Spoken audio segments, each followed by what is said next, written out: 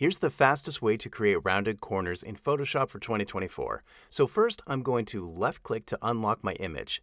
Then I'm going to go over to the rectangle tool. Make sure that's selected. And I'm going to double check that fill and stroke are all set. So fill should be in full color, it can be white or any other solid color, and then stroke should be turned off, which it typically is.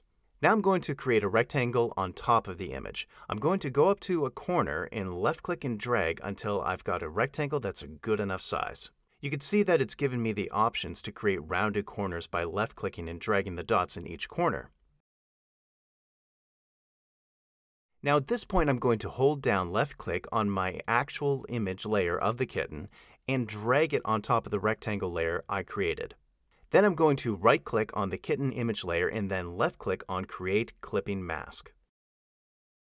As you can see, I'm all set. You can actually continue to round the corners in whichever way you want to. You just have to make sure that you've left clicked on the rectangle below your image in order to access the option of rounding the corners.